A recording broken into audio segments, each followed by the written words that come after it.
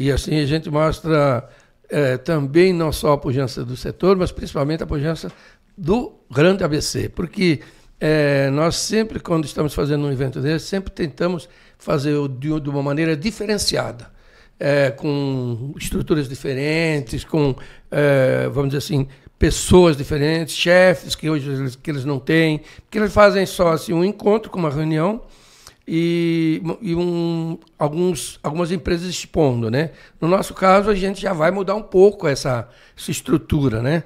É, você pode ver aqui que nós vamos ter aqui quatro ou cinco chefes que vão estar lá trabalhando no meio do, do, do salão, é, um a cada hora, a cada, cada hora acho que vai ser dois, um para um lado, outro para o outro, e eles vão trabalhar apresentando, fazendo show ah. de confeitaria. Enquanto rola o evento, eles e, vão estar lá. Exatamente. E panificação e também de pizza e pizza também. Então, acho que vai ser um momento um pouco diferenciado.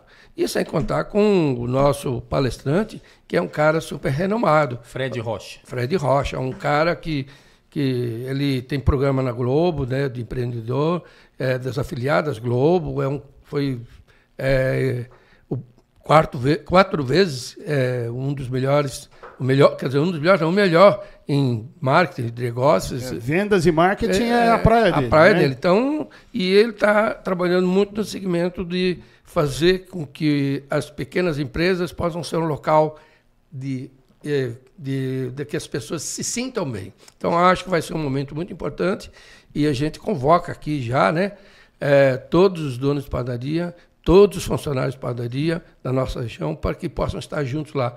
E também pessoas que gostam do setor podem ir até lá, não vai, não vai, basta fazer a inscrição, não tem custo, não tem nada, e vai participar do momento é, bem diferenciado. Além, lógico, de do SESI São Bernardo ser um dos SESI mais bonitos de, de São Paulo, né?